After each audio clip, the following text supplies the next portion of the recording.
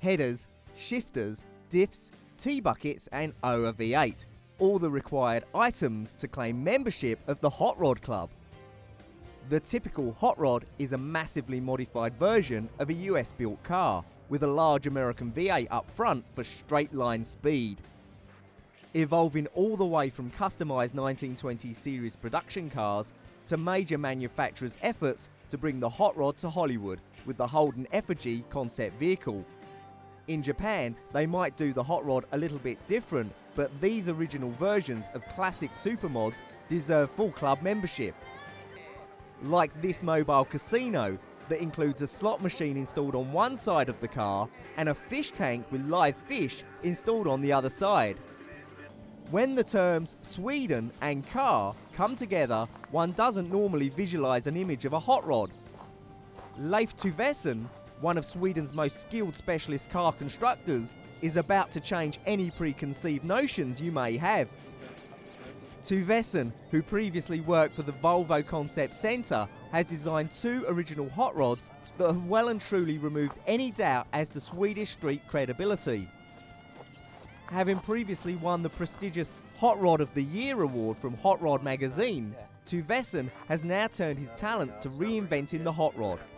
The V8 powered Caresto Speedster has been carefully handcrafted into life under the watchful Tuvesen gaze.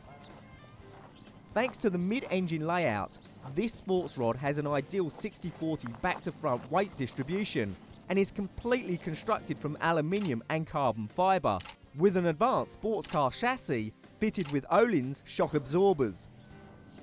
The steering wheel, instruments and gear selector come from Volvo, as does the V8 engine, the 6-speed automatic transmission and the car's electrical system.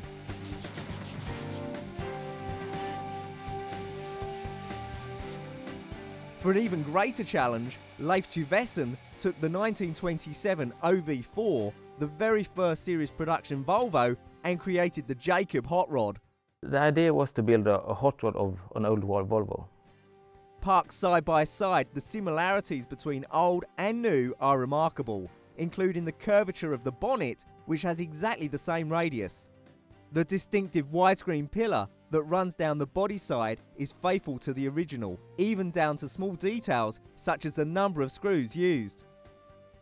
Equally identical is the radiator grille, with its characteristic mesh pattern and diagonal bar that incorporates the classic iron symbol.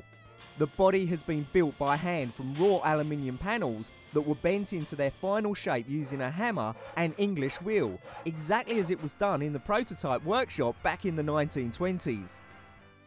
The two-seater Jakob is far smaller than the original four-seater and features a carbon fibre body incorporating typical minimalist design of the traditional hot rod.